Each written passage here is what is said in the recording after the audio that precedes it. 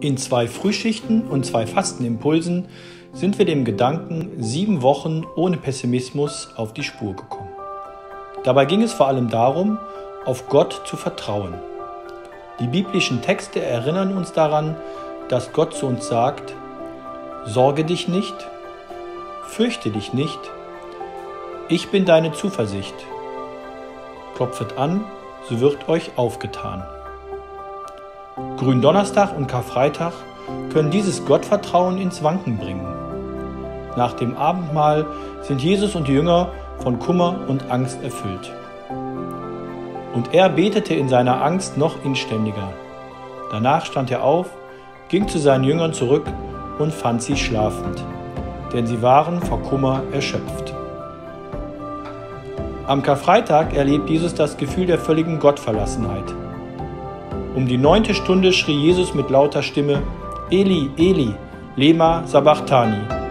Das heißt, mein Gott, mein Gott, warum hast du mich verlassen? Die Jünger waren von Trauer und Angst erfüllt. Mit diesem Gefühl waren zwei von ihnen am Ostermorgen unterwegs nach Emmaus. Sie sprachen miteinander über all das, was sich ereignet hatte. Und es geschah, während sie redeten und ihre Gedanken austauschten, kam Jesus selbst hinzu und ging mit ihnen. Doch ihre Augen waren gehalten, so dass sie ihn nicht erkannten. Er fragte sie, was sind das für Dinge, über die ihr auf dem Weg miteinander redet? Da blieben sie traurig stehen und antworteten ihm, das mit Jesus von Nazareth. Die Hohepriester und Führer haben ihn zum Tode verurteilen und ans Kreuz schlagen lassen. Wir aber hatten gehofft, dass er der sei, der Israel erlösen werde.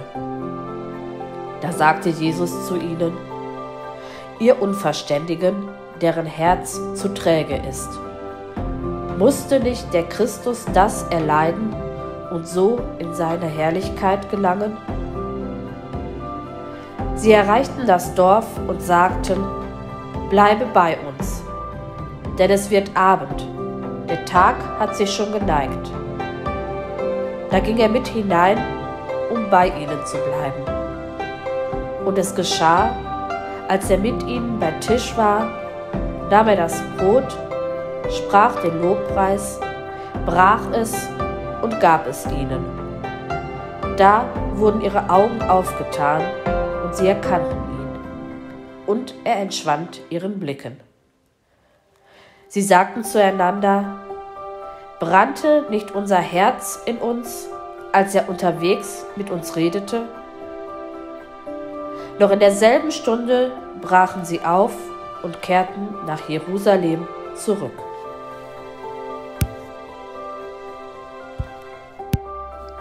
Das ist Ostern. Die Erfahrungen von Trauer, Ohnmacht, Tod und Aussichtslosigkeiten werden verwandelt. Ostern ist Leben, Licht, Freude, Begeisterung und das Vertrauen darauf, dass Gott im Tod und über den Tod hinaus bei uns ist. Deshalb hat nicht der Tod das letzte Wort, sondern das Leben. Wir haben allen Grund, optimistisch zu sein.